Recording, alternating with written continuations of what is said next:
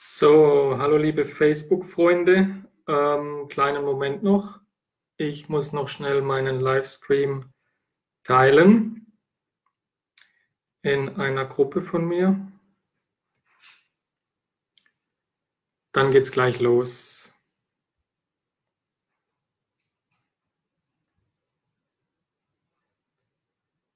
So, mache ich schnell vom Handy aus. Optionen.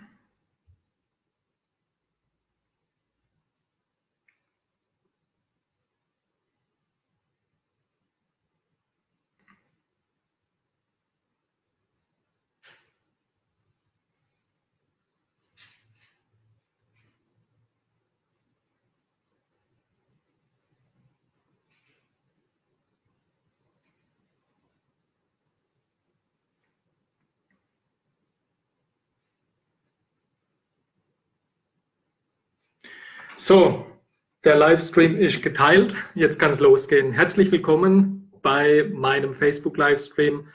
Ähm, ja, die Feiertage sind vorbei.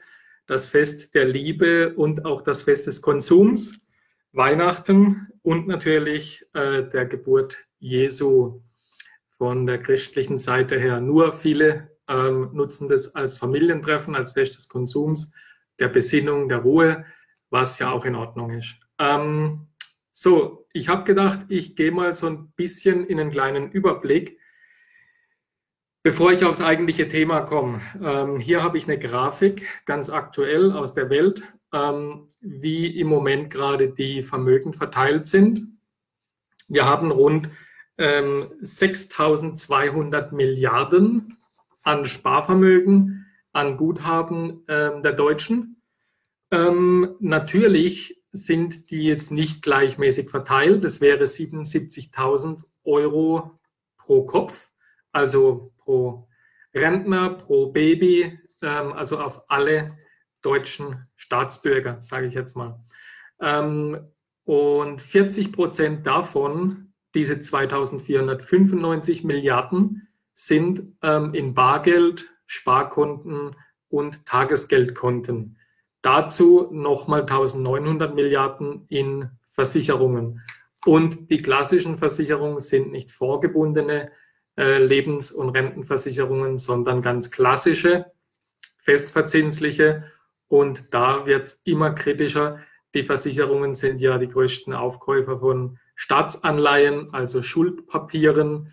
Das heißt, ich habe eine Forderung gegenüber einem Unternehmen, nämlich der Versicherung, und meistens mit Laufzeit von 20, 30, 40 Jahren. Wenn ich ähm, eine Ausbildung starte, zum Beispiel mit 16 Jahren, dann mache ich eine Rentenversicherung.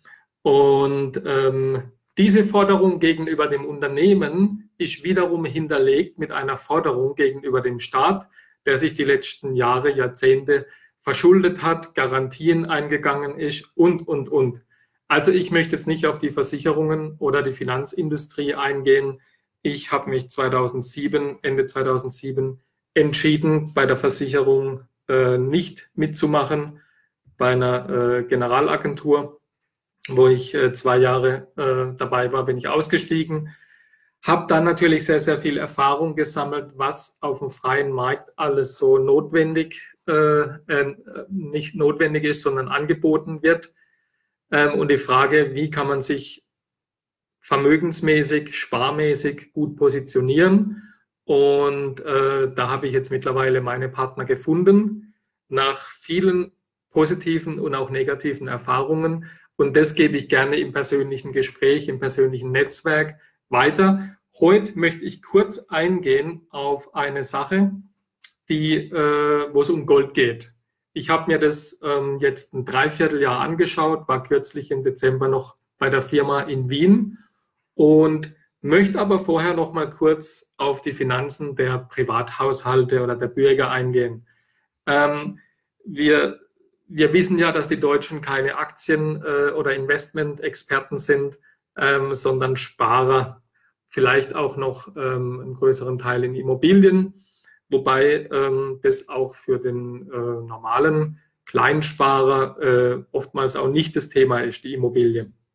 sondern eher für vermögendere Leute oder die auch genügend ähm, Bonität haben, um dann auch entsprechend Finanzierungen zu bekommen. So, dann habe ich gedacht, wo gibt der Deutsche im Durchschnitt Geld aus? Ähm, das sind, also ich habe jetzt mal nur ein paar Sachen rausgegriffen. Das sind Reisen. Dann habe ich auch noch Lotto spielen, mal die Zahlen bei Statista geschaut, was die, Leute, was die Leute für Lotto spielen ausgeben. Ich habe noch nie in meinem Leben Lotto gespielt. Ich war schon drei, vier, fünf Mal im Casino, mal ein bisschen, äh, ein bisschen gegambelt.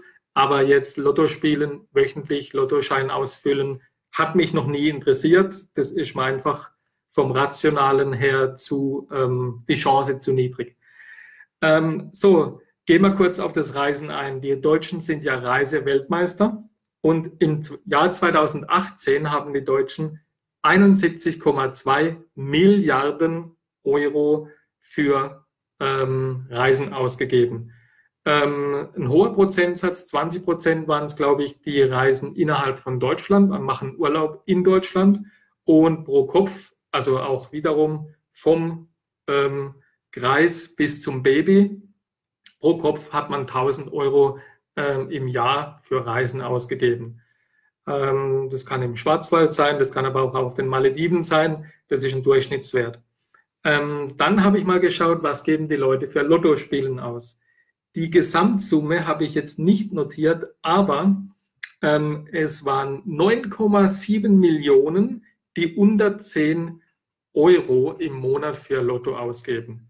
10 Millionen geben 10 bis 25 Euro monatlich für Lotto aus. 6,8 Millionen geben 25 bis 50 Euro pro Monat für Lottospielen aus. Und 1,6 Millionen geben ähm, 50 Euro und mehr aus. So, jetzt wäre es natürlich noch interessant, wie die Statistik weitergeht, wenn es um 100 Euro oder 200 Euro geht. Weiß ich jetzt nicht, wie da die Zahlen sind.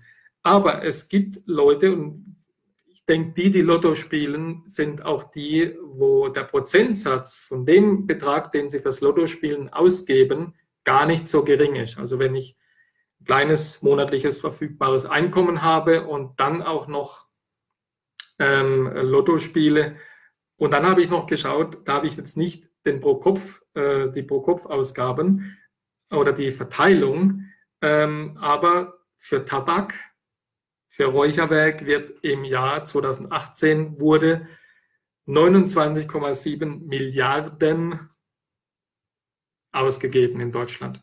Gut, das mal so ein paar Zahlen. Worum geht es jetzt heute? Ähm, es geht um eine Firma aus Wien, die ähm, heißt GGMT und ähm, die hat ein hochinteressantes Projekt. Sie bieten Gold im Rabatt an und zwar mit einer Lieferzeit von 6 bis 24, 42 Monate und mit einem Rabatt von 10 bis 50 Prozent.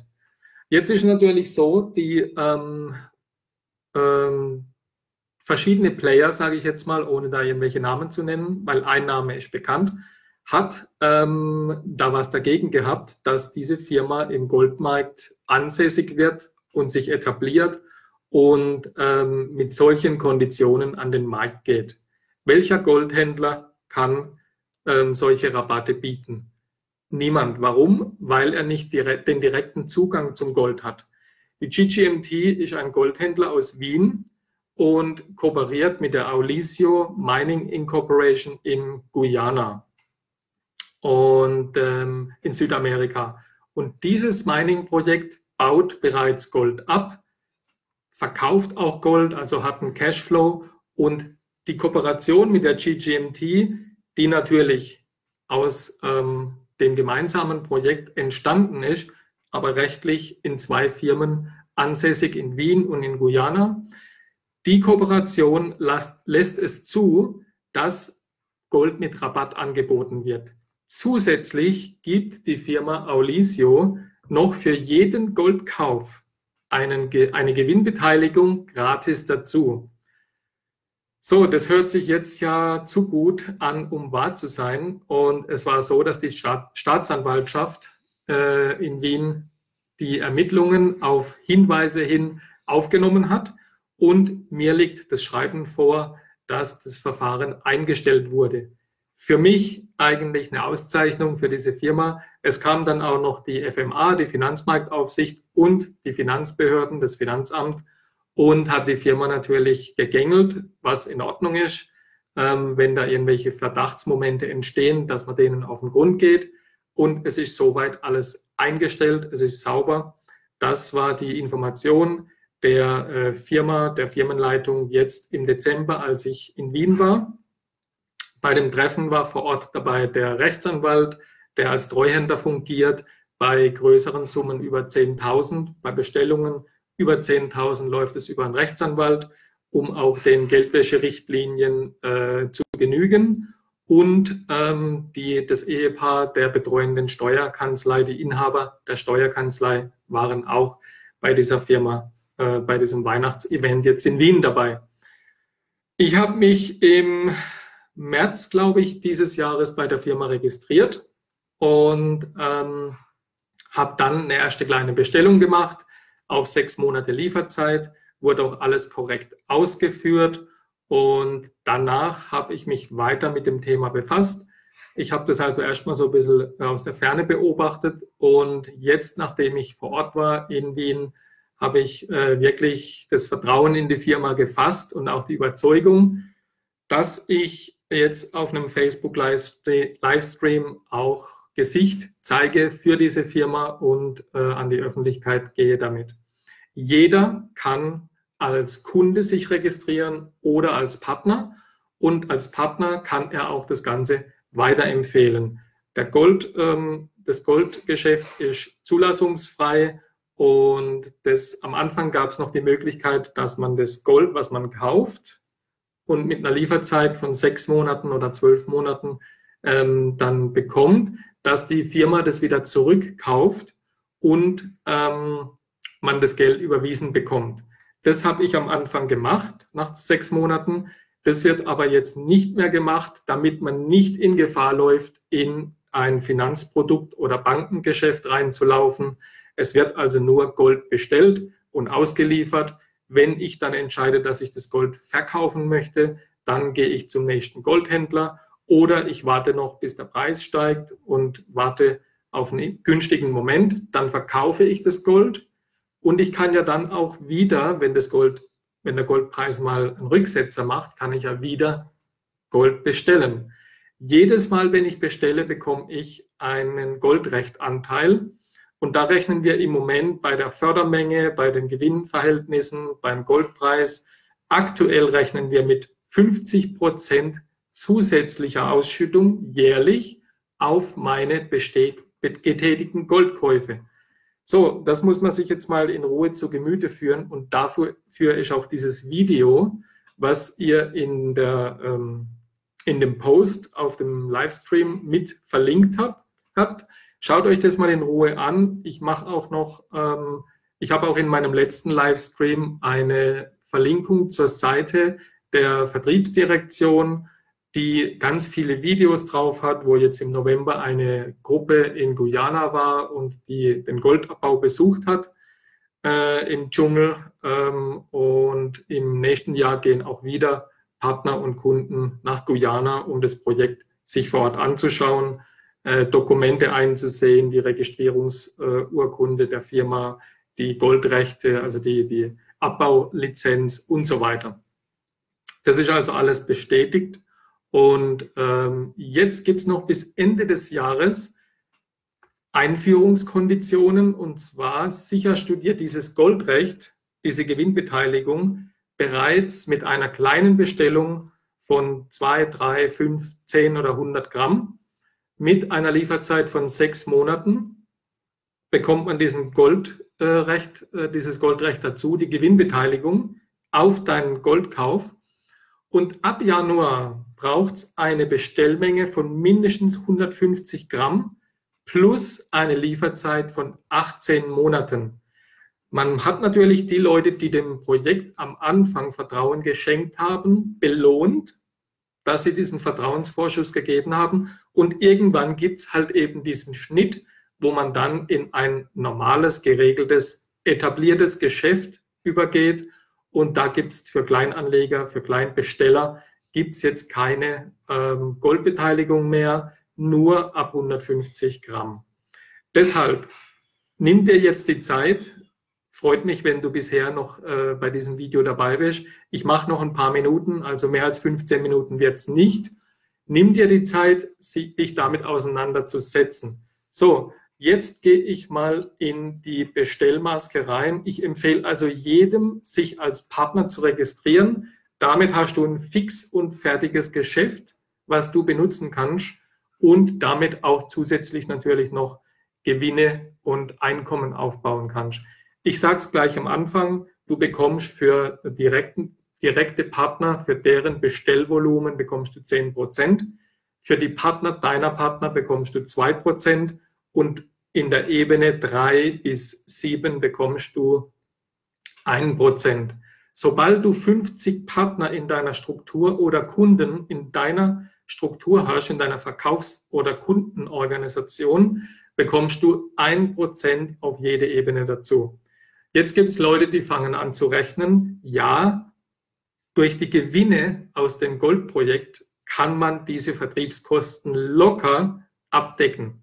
Also ihr müsst da gar nicht jetzt irgendwie Kommentare schreiben, die Vertriebskosten sind zu hoch und es ist ein Schneeballsystem und es funktioniert nicht. Diese, diese Themen habe ich natürlich zu Genüge mir angeschaut und ich habe auch meine Partner, über die ich eingestiegen bin, die letzten Monate wirklich so genervt und immer wieder eine gewisse Skepsis an den Tag gelegt, bis dann mein, der Partner meines Partners gesagt hat, also weißt du was, Stefan, ich kann dir nicht helfen, wenn du kein Vertrauen in das Projekt hast, dann mach bitte nicht mit. So, jetzt kam noch ein, ein Skype-Call rein. Also, mach bitte nicht mit. Ähm, und ich war dann jetzt noch in Wien und das hat mir jetzt wirklich das Vertrauen auch gegeben. Moment, ich mache mal schnell meine Skype aus, sonst kommt noch mal ein Skype-Call rein, das habe ich vergessen. Aber ähm, jetzt zeige ich dir, wie das Ganze in der Registrierung aussieht. Ähm, du gehst hier rein. Ich habe das jetzt alles schon mal hier vorbereitet. also du musst einfach deine Daten eingeben. Ähm, und jetzt mache ich das mal für Deutschland. Ganz wichtig, ähm, ihr seht hier, man kann sich in vielen Ländern, kann man sich registrieren. Das heißt, du kannst natürlich auch dein, deine Partner oder dein Kontaktnetzwerk international damit ansprechen und kannst Leuten äh, auch die Geschäftsmöglichkeit offerieren. Ja? Und äh, also wirklich hochinteressant. Auch in Thailand, ich habe jetzt gerade heute meinen Partner Uwe Klemm, Servus Uwe und Servus ähm, Freunde und Teampartner von Uwe nach Thailand. Ähm, wir waren ja dieses Jahr in Thailand mit unserer Forex-Trading-Thematik äh, und wir ähm, werden auch wahrscheinlich nächstes Jahr wieder nach Thailand gehen. Ich sage es jetzt hier öffentlich auf Facebook und ich sage es auch für dich und deine Partner, Uwe. Mein Ziel ist in Thailand das größte Team an Mitgliedern und an Umsatzvolumen bei GGMT ähm, aufzubauen. Ja, wir haben das Potenzial, wir haben hier ein Top-Unternehmen und die Frage von einem Partner jetzt aus Thailand heute Morgen war, wie kommt das Gold von Österreich, weil das von Österreich aus alles versandt wird, wie kommt es nach Thailand? So, wenn wir in einem Land ein größeres Team aufbauen, dann wird mit einem lokalen, etablierten Goldhändler aus diesem Land kooperiert. Dort wird dann das Gold bezogen. Das, das Gold, was in Guyana abgebaut wird, wird an die Regierung verkauft. Somit hat man im Land auch einen sehr schnellen Cashflow und es wird kein Gold exportiert, in Raffinerien gebracht, geschmolzen, Barren geprägt und so weiter. Sollte mal eine Knappheit vorkommen die nächsten Jahre, weil ein Run auf Gold stattfindet, dann kann man immer noch das Gold aus dem eigenen Projekt in eine eigene Prägung bringen und kann das dann verteilen. Im Moment ist es logistisch und von der Abwicklung her einfacher, dass man äh, jetzt zum Beispiel in Europa mit einem etablierten Goldhändler aus Wien kooperiert und in anderen Ländern dann nach und nach Kooperationen aufbaut. Das heißt, wir haben uns jetzt auch, wir haben jetzt die Chance, uns zu positionieren Zum Beispiel für Thailand und es gibt ja unheimlich viele Auswanderer, Schweden, Norwegen, Finnen, Engländer, Deutsche, Schweizer und so weiter, die in Thailand leben. Ähm, und da haben wir eine geniale Möglichkeit, die Leute auf das Projekt aufmerksam zu machen, auf die Möglichkeit, Gold zu beziehen, plus diese Gewinnbeteiligung Jahr für Jahr zu bekommen. Weil viele, viele Auswanderer, äh, die jetzt in anderen Ländern sind, ob das Thailand oder auch andere Länder sind, ähm, ähm Spanien oder wo auch immer, ähm, die müssen doch nach und nach immer wieder was dazu verdienen und suchen auch nach, nach Möglichkeiten, um äh, das Gehalt oder die Rente aufzubessern. Oder wenn man als Frührentner früher aussteigt, dann äh, ist doch immer wieder auch interessant, wenn man seinen Lebensstandard noch ein bisschen weiter hochschrauben kann und sich noch eine zusätzliche Einnahmequelle aufbauen kann. Gut, ich gehe jetzt wieder hier auf Deutschland zurück. So, also ihr gebt hier eben eure Daten ein und dann kommt ihr auf diese Seite und jetzt ist ganz wichtig, vor 31.12. müsst ihr noch eine Bestellung über 100 Euro machen. Das heißt, ich mache jetzt hier mal eine Bestellung von ähm, 5 Gramm Gold auf 6 Monate. Ich kann auch auswählen ähm, 12 Monate, 24 Monate. Ähm, wenn man das Ganze als Altersvorsorge sieht, dann kann ich zum Beispiel auch sagen, ich kaufe jetzt 5 Gramm Gold. Die kosten normal 227 Euro mit 50 Prozent Rabatt. Dann bin ich bei 113 Euro. Und für diese, für diese Summe, die ich investiere, bekomme ich auch das Goldrecht. Und das hier jetzt ist nur ein Einstieg. Ihr könnt die nächsten Monate dann euch ganz in Ruhe die Firma anschauen, Webinare anschauen und so weiter, bevor ihr dann sagt, okay, ich bin jetzt von dem Ganzen überzeugt, ich kaufe mir jetzt 100 Gramm mit Lieferzeit sechs Monate, dann bin ich halt bei 3800 Euro. Und bevor jemand drei, vier, fünf oder 10.000 Euro in die Hand nimmt, möchte er das natürlich auch mal testen und die Firma genauer kennenlernen, ähm, bei einem Webinar mit dabei sein, wo er auch den, äh, den Geschäftsführer kennenlernt und so weiter. Ähm, also das steht jetzt jedem frei, wie er das Ganze wählt. Wichtig ist jetzt noch vor 31. Dezember eine Erstbestellung zu machen. Und machen wir zum Beispiel hier mal zwei Gramm, dann bin ich bei, ähm, dann können wir noch, äh, machen wir noch was dazu. Ist eigentlich jetzt nicht so wichtig, aber ich mache das mal ein bisschen, dass ihr seht, wie das Ganze läuft sechs Monate und dann bin ich hier bei 165. Wenn ich jetzt weitergehe, dann seht ihr, dass hier noch eine Versandkostengebühr dazu kommt mit 12 Euro und dann geht ihr auf Weiter und dann klickt ihr hier auf Überweisung. Ähm, in Zukunft wird man auch per Bitcoin bezahlen können. Das ist jetzt im Moment noch nicht online. Es geht aber schon, ähm, aber es ist noch nicht im Online-Menü drin. So, und dann gehe ich auf Registrierung, Bezahlung und das war's. Ihr bekommt danach zwei E-Mails. Einmal eine mit der Bestellbestätigung, wo dann auch die Bankverbindung drauf ist und euer Rechnungsbetrag. Diese überweist ihr nach Österreich und ähm, dann bekommt ihr eine zweite E-Mail mit euren Zugangsdaten und da könnt ihr euch dann einloggen, habt auch oben links schon euren Empfehlungslink und könnt direkt weiterempfehlen. Ihr könnt gerne auch auf mich zukommen, wenn ihr Unterstützung braucht. Äh, ich bin da für euch da. Und ähm, dieses Geschäft ist jetzt eines meiner Standbeine, wo ich 2020 meinen starken Fokus drauf lege. Ich habe jetzt mittlerweile die Überzeugung und die, die innere äh, Gewissheit, dass wir da ein sehr, sehr gutes Geschäft an der Hand haben, dass wir verlässliche Partner an der Hand haben.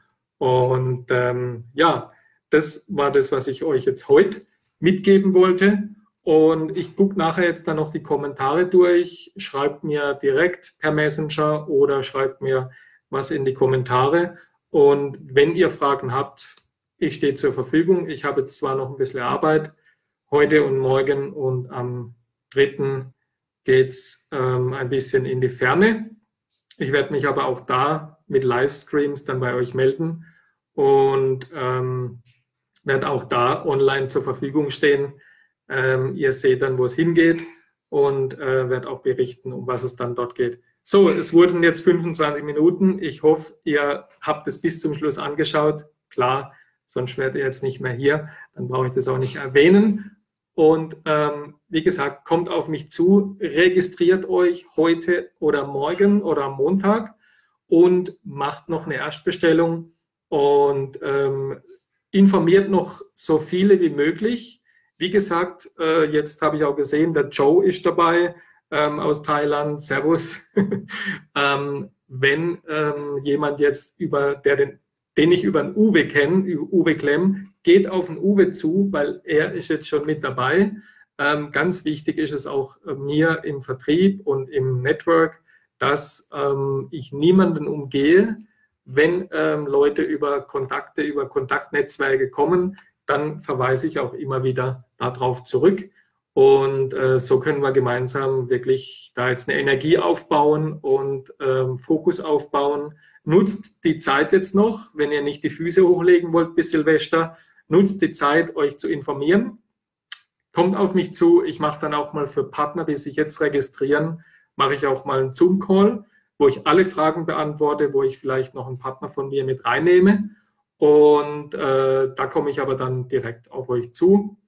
Und ich freue mich auf die Zusammenarbeit mit euch und lasst uns 2020 richtig was aufbauen. Die Firma hat jetzt in ihrem Startjahr 5 Millionen Umsatz gemacht. Nächstes Jahr werden es wahrscheinlich 50 bis 100 Millionen, vermute ich. Das ist absolut realistisch, weil viele sind jetzt mal sehr zaghaft rangegangen, genauso wie ich, und haben sich das äh, sehr genau angeschaut, skeptisch angeschaut und so weiter. Und ähm, ihr könnt jetzt dann loslegen. Und dieser Effekt, dieser Multiplikationseffekt, also 50 Millionen bin ich mir ziemlich sicher, dass nächstes Jahr erreicht werden. Servus Harald, grüß dich, Gruß nach Lilze. Ähm, und die, die jetzt später gekommen sind, wir machen jetzt Schluss, dann könnt ihr es euch nochmal in Ruhe anschauen. Ähm, ich freue mich, wenn ihr auf mich zukommt. Und äh, falls man es nicht mehr hören, wünsche ich äh, schöne Silvester, lasst es gut knallen. Ich bin kein Feuerwerker, aber feiern ist super. und ähm, gute Rutsch euch und ein tolles 2020. Bis dann, macht's gut. Ciao, ciao.